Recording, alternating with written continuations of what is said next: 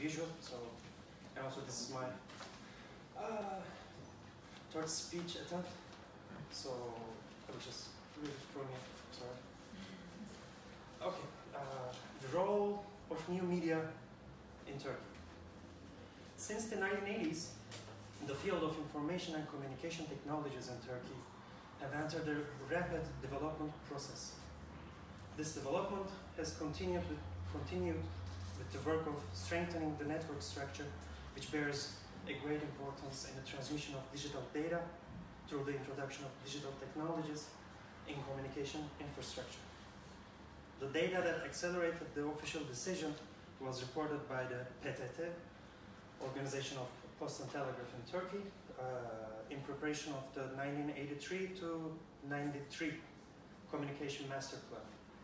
In the PTT report, it is emphasized that the digital technologies have become compulsory in terms of Turkey's domestic communication needs. Communication will directly or indirectly contribute to national development and its importance in terms of national defense and security. With the first steps for the dissemination of the internet in Turkey, it has entered a very active period in the official service and in the development of targeted policies. The internet initially positioned as an academic network with the improvement of, improvement of technological infrastructure, facilities, and along with the parallel advancements in Turkish technology, lost its status of being closed network in universities and academic institutions, and gradually became to be open to use of public institutions and private companies. The usage of internet, which became popular after the establishment of Turnet and TTNet in the following, has left us with a user profile that shows a steady increase in both quantity and quality. According to information compiled from a report prepared in conjunction with We Are Social and Hootsuite, Turkey has 54.33 million internet users. This number corresponds to about 67% of the total population of Turkey. So in Turkey, perhaps in conjunction with the fact that average population is quite young compared to other European countries, the use of new media devices and platforms is extremely common. About 51 million of the internet users in Turkey are active social media users.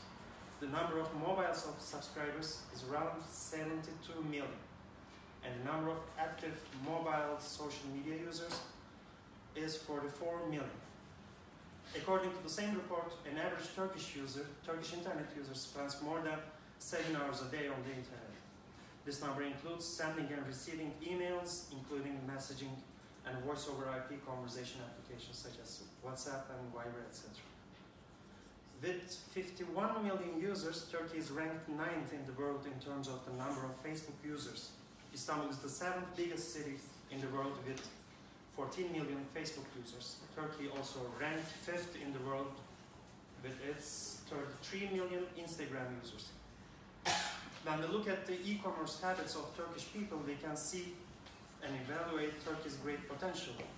While Turkey is in the top 10, top 10 lists in the usage of internet and social media, in the e-commerce usage, ranked only 29th in the world, with its only 49% penetration. In other words, more than half of the internet users in Turkey so far has not shopped on the internet. Uh, we can look with another angle to the question why Turkey's strong bonds with the social media platforms have not shown itself with other new media platforms. Some of the information in 2017, the Digital News Report by the Reuters Institute, can support our point of view on this matter. According to the report, uh, even though the online news sites of traditional media organizations are very popular, the popularity of online-born news sites such as T24, Oda TV, Diken, Bianet uh, are getting more and more popular and new ones are added every day to the list. One of the most interesting parts of this report is the social media users' habit of obtaining information, in particular news. 54 uh, percent of Facebook users, 32% of YouTube users, 25% of Twitter users, 25% of WhatsApp users, and 17% of uh, Instagram users are using these social media platforms to receive the daily news. 46% of the participants think that uh, think the social media platforms that they are used are uh, reliable news sources. On the other hand, only 40% of the participants think generally news sources are reliable in Turkey. The survey report of the new media usage in Turkey, which published by Kadir Has University in 2017, gave us similar information as well. Uh, the report is based on a research uh, conducted in, only in Istanbul. Approximately 27% of the participants think the printed newspaper are reliable. Only 26% of the participants think the television is reliable. Compared to that, 42% of the same participants think of the internet as a reliable source. The trust rate for news sources and internet newspapers are 34%, and the trust rate for social media is 30%. If you only deal with this data, we can easily make the assumption that the people of Turkey lost their trust in the traditional media. The attitude of the traditional media has played a major role uh, in the fact that in order to receive reliable news, people have turned to social media platforms, not traditional media devices. Gezi Park protests have been the breaking point for people of Turkey in terms of media perception. There's an open link between the traditional media's attitude towards the Gezi Park protests and the people's influx toward new media platforms in order to get information that they need. If I explain very roughly, uh, the Gezi Park protests began with the purpose of uh, preventing the reconstruction of the Halil Pasha artillery barracks in the Gezi Park under the name of the pedestrianization project. On May 27, heavy construction machines entered the park and some trees began to be dismantled from their places. Thereupon, a group of environmentalists started their protest in the Taksim Gezi Park in order to prevent the machines from working and dismantling the trees. And, and at the morning of May 31st, 2013, uh, it led uh, intense reactions. On that morning, when police forces intervened in the Gezi Park protest with an extreme manner, and as a result of this, protests spread throughout Turkey and, and has gained a mass character. This protest, which started in Istanbul, led to broadly participated protests by spreading to big cities such as Ankara and Izmir, than all of the cities in Turkey. Both the activists and opposition parties have criticized some media outlets for adopting and advocating a pro-government attitude and have made intense criticism of the fact that incidents are hidden from the public and that the facts are not reflected. In particular, uh, some printed media and visual media organs have been protested by activists accused by their pro-government attitude. Some broadcasting organizations have protested in front of their headquarters buildings and they have been criticized harshly for their silence against the Gezi Park protests. After the increasing pressure and the third day of the protests, uh, some broadcasting organizations and newspapers have begun to change their silent attitudes and to begin to include the events of Gezi Park. So, uh, mainstream traditional media's uh, ignoring attitudes towards the events surrounding the Gezi Park has forced the activists to create alternative media platforms where they can make themselves heard. Çapul TV that emerged within this thought structure was one of them. The acquaintance of the Çapul TV's core team with each other is based on the site sendika.org, which has 17 years of internet journalism experience. In this period, uh, when there was no healthy information and news flow, citizen journalists who did not have any political identity in the events have begun to report from the events. Twitter, Facebook, and other social media applications have been used extensively to provide this information flow. In such an environment, Çapul TV started broadcasting on the 10th day of the Gezi Park protest, June 6, 2013, formed in a temporary studio by arranging a part of the Gezi Cafe. This plain studio was mobile and had all of the basic features of a studio. Another interesting fact is that these protests inspired a live video streaming application, Periscope. The founder of the Periscope application, Kayvon Beykpour, was in Istanbul at the beginning of Gezi Park protests. Bekbor realizes the need for people to take photos and videos and share them during the protests. Then he started to work on the idea of transmitting live broadcasts to other users around the world by using a smartphone. Then he moves to San Francisco and, organ- and organizes a software team. Uh, at the beginning of 2015, Periscope was sold to Twitter for 100 million American dollars. Previously, the ability to broadcast live was monopolized by the traditional media because of the need for expensive satellite rentals, equipped vehicles, and technical staff. With the Periscope application, the possibility of live broadcasting has become possible for every user with access to any mobile device, such as, such, such as smart mobiles and tablets.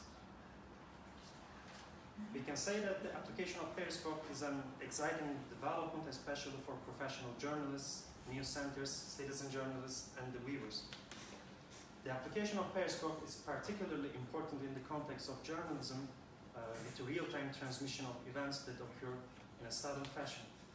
For example, a group of journalists, including the Guardian's Washington correspondent Paul Lewis, reported live, reported live events in Baltimore, Maryland, Maryland, USA, through Periscope app, which was interpreted as a new era of journalism. In Turkey, we can say that the Periscope application used in a way that has experienced the live broadcast of the Periscope between his colleagues in Turkey. The broadcasts that started before the general election on June 7, 2015, made Çakır more popular with this application. In this period, Ruşen Çakır had the opportunity to narrate his election analysis with his broadcasts from his office in Haberturk newspaper through Periscope to his followers. On August 20, 2015, Ruşen Çakır broadcasted an open session live on Periscope together with his colleagues Levent Gültekin and Kadri Gürsel in his office. This broadcast was also the beginning of the Medyascope project. Ruşen Çakır with his colleagues suggested a platform where his Periscope broadcast will be visible and besides that, where other journalists can make contributions to it. In the early days of Medyascope, which started its broadcast through Medyascope.tv, uh, Çakır made personal efforts to enrich the contents. He also requested permission from his colleagues, such as Ünsal Ünlü and Nevşin Mengü, to broadcast their contents via Medyascope. By the request of Çakır, Mete Sohtaoğlu was among those who supported the development of the Medyascope platform with his Periscope comments on foreign political issues. Ruşen Çakır says that they are trying to produce different content and work just like uh, news television, that video-based structure is the biggest difference of Medyascope, which has been enriched in a short period of time. By his words, we are trying to do everything that a television can do anywhere in the world. Medyascope broadcasts are not only shared on the Periscope application, but also uploaded to their own YouTube channel. As a matter of fact, with the live broadcast feature provided by the YouTube platform, broadcasts are streamed live on both through the Periscope app and YouTube. This new understanding of new media journalism in Turkey is not only limited to Medyascope and Ruşen Çakır. Ruşen Çakır has worked in the mainstream media such as Tempo, Cumhuriyet, Milliyet, CNN Türk, Vatan, NTV, Haberturk for many years. Another example is Ünsal Ünlü. Ünsal Ünlü has worked on channels and radios like Haberturk, TRT, and TV. He continues to work every weekday on Periscope with his broadcasts, which he started in his home study room in August 2015, in order to exercise free and independent journalism in a polluted media environment, with his own words. In the first phase, the broadcasts that reached only 37 people now are reaching to 20,000 people a day with the inclusion of platforms such as YouTube, SoundCloud, and iTunes. Another example is Nevşin Mengü. Nevşin Mengü has worked on television channels such as Haberturk, Kanal Türk, TRT, CNN Türk, Kanal D, and has become a well-known name on the television as a prime-time newscaster. Since November 2017, she prepares weekly programs and interviews for Deutsche Welle, and these programs are broadcast live on YouTube. Okay, that's it. Thank you. Thank you.